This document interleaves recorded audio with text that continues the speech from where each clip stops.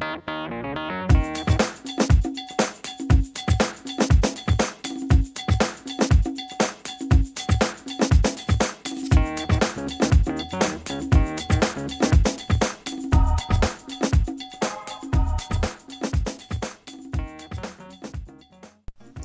and welcome to another CompWiz tutorial.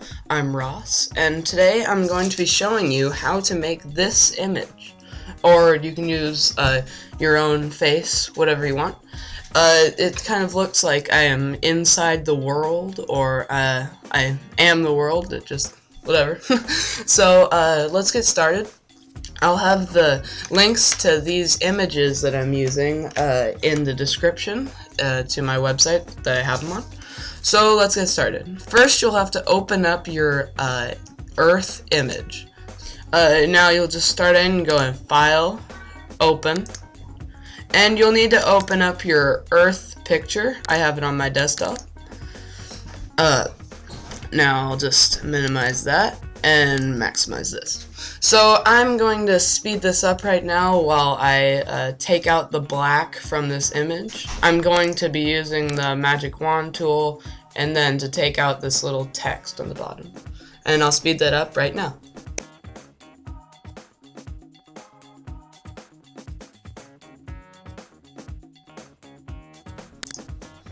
And now that I'm back, I'm just going to show you uh, a good technique if the image, uh, notice how you can see the black around that.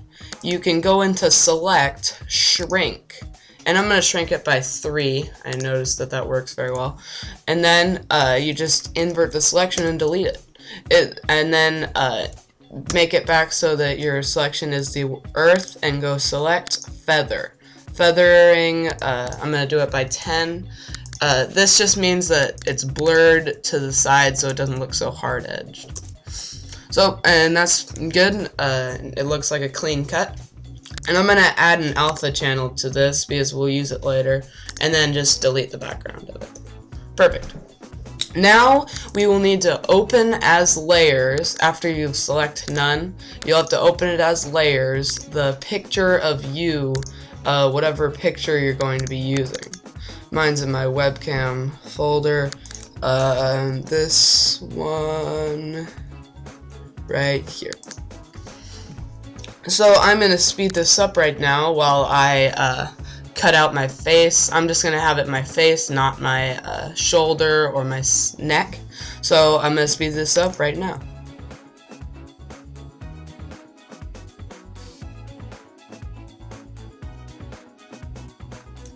And now that we're back, I'm going to invert the selection and delete it, then invert it again, and feather it.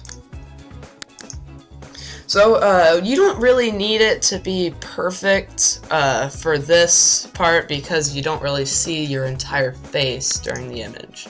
So I'm going to start moving uh, this up to the top, and then I'm going to scale it so that it fits. Oops.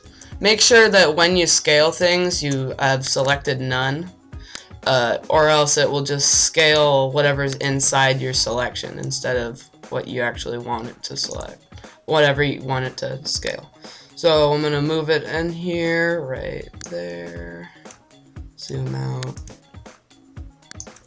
Just keep moving it around until you like what you see with it, and then that's pretty good.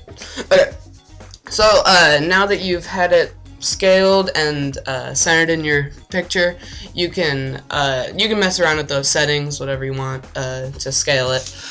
So now you will need to, in your face layer, we're going to need to make the colors of it blue. So you'll need to go into colors, colorize, and then move it uh, up to, I'm going to just keep moving this up until I like a good blue that matches your uh, earth. Uh, it'll kind of go into purple just be you don't want it too uh, light because it's a earth and it's not very dark. So uh, you can uh, set this to 240. That's what I used if you're using this image. It all depends on your photography. If you had a lot of light in your image or not very much light, uh, it all depends on that. So I'm using 240. And now I'm going to duplicate this layer. On the top layer, I'm going to go into our layer mode and click darken only. You can't really see it unless you uh, uncheck the thing on your bottom layer. So this only shows the darker parts of your image. I haven't gone over this before, so now I am. Uh, it just goes over the whatever dark is in the image, like my hair, my chin, my nostrils, my eyes.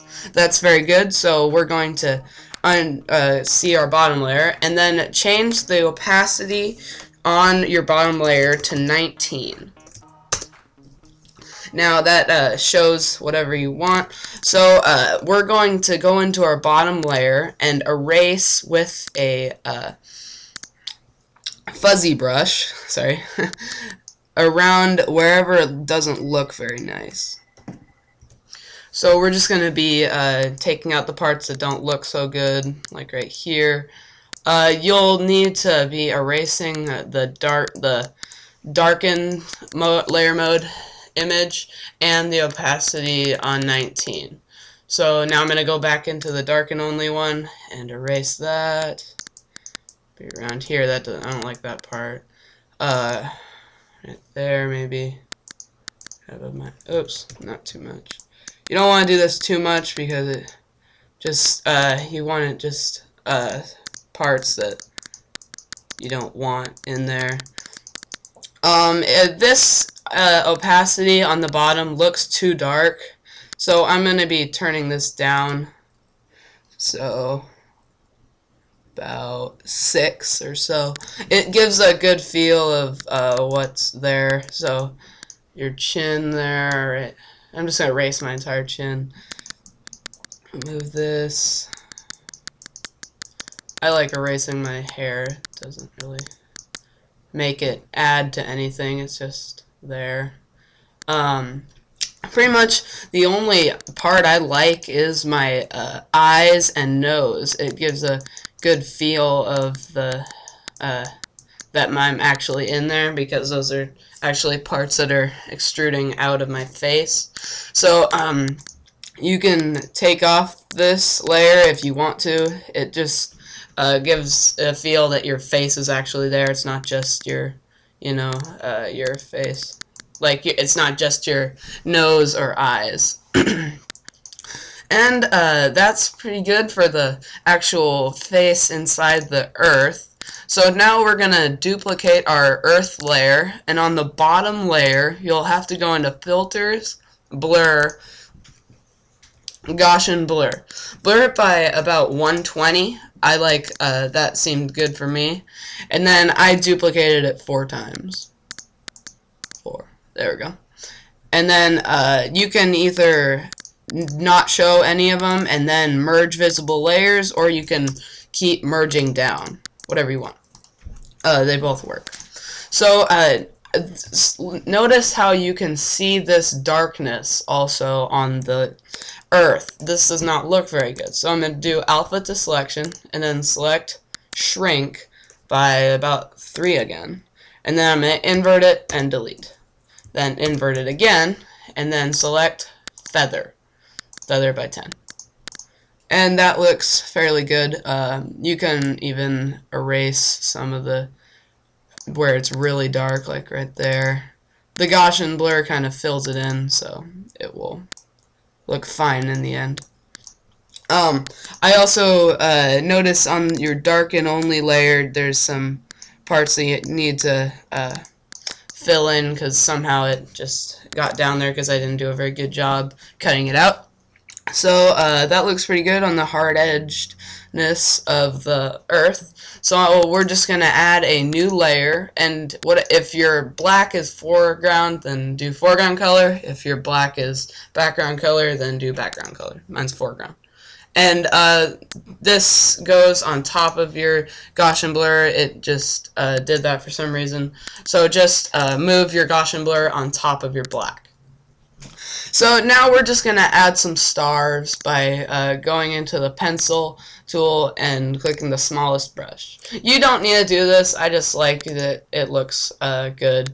and make sure your uh, foreground color is white and just make I like like two stars per corner about uh, I just like the look of this uh, so you don't have to do this. It looks fine without it. So you if you are doing the stars go into filters light and shadow sparkle. Uh, I have the sparkle luminosity threshold. Everything's at default except for the flare intensity. That's at 0.5 so click OK. Uh, this might take a while depending on how many stars you actually did and how fast your computer is. So uh, that doesn't look very good. It looks very cartoony. So I'm going to blur it. Gosh, I'm blurring it by 5, not 120. 5. Uh, even more than that, I think. 7. Yeah, uh, 9 looks fine. There we go. That looks good. And now we will need to actually uh, gradient map this uh, background by going into your gradient tool and going down to deep sea. I like uh, deep sea because it kind of ties in with your earth and you'll need to go into colors, map, gradient map. That looks uh, fairly good. Uh, even if you can uh, put your darken only layer down on the opacity just a tiny bit if it looks too hard edged if you want. Whatever you want. It's all uh, depending on your preference and what you think looks good. Uh, and that's the end of this tutorial. Thanks for watching. Uh, please visit my website www.compwiztutorials.webs.com and please subscribe comment and rate. Uh, thanks for watching